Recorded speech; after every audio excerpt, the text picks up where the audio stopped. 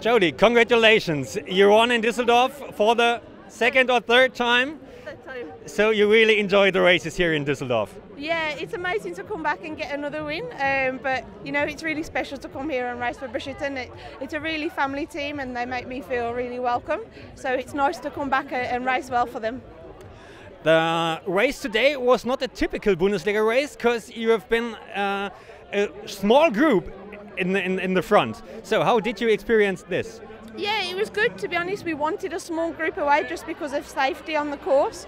Um, it was a technical course, which is great, but with such a technical course, you want a small group for safety. So it was ideal conditions, really.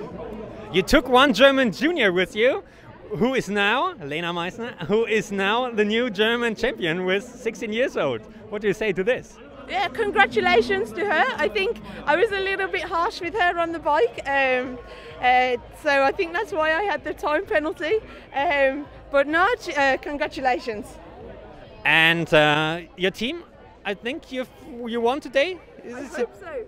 You, you, you, hope so. Hope so, so. So the team performance was great too. Yeah, I, I hope so. I, you know, that's why we race. You know, extra hard is it's obviously to race for the team. It's it's important to have a good race yourself, but the team is really important to go out and have a good run.